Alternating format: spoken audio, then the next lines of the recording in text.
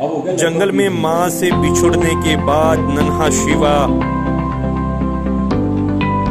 इस वक्त पी रहा है अमेरिका से आयातित बीस हज़ार रुपये लीटर वाला दूध। नन्हा शिवा, जो जंगल में जन्म लेने के साथ ही अपनी माँ से बिछुड़ गया, उसे माँ का प्यार नसीब नहीं हो पाया।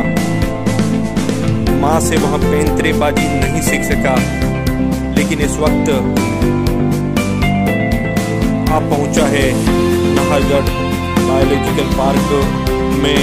यहाँ की टीम ने उसे रेस्क्यू किया जंगल से। और डॉक्टर अरविंद माथुर जो लगातार इसकी देखरेख कर रहे हैं उसे एहसास करा रहे हैं कि माँ से बढ़कर जो प्यार दिया जा सकता है पेंथर के बच्चे को नवजात बच्चे को। अमेरिका से विशेष तौर पर जो दूध ऐसे शावकों के लिए मंगवाया जाता है, लाल सिवा, उस दूध का आनंद दे रहा है। उसकी आँखें ठीक से खुली नहीं थी, लेकिन अब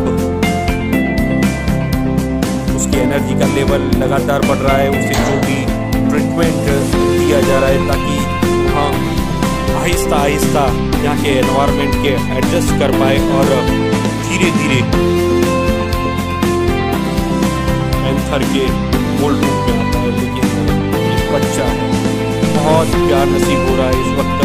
यहाँ पर बायोलॉजिकल पार्क में उसे और सबकी आँखों का तारा बना हुआ है नन्हा शिवा।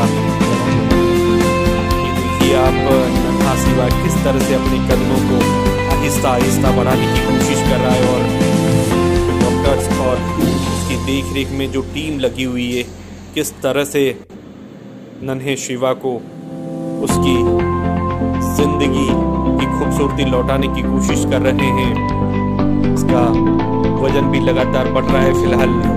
बारह दिनों का है। नन्हा शिवा, उम्मीद की जा रही है, वह जल्द से जल्द खुद को रिकवर करेगा। माँ से पिछड़ा हुआ शिवा देखिए, टेबल पर किस तरह से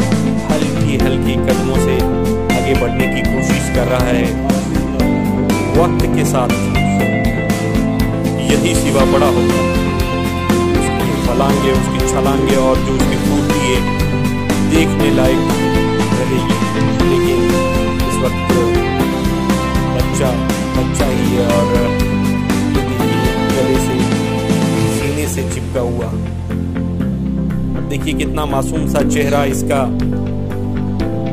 और कोशिश कर रहा है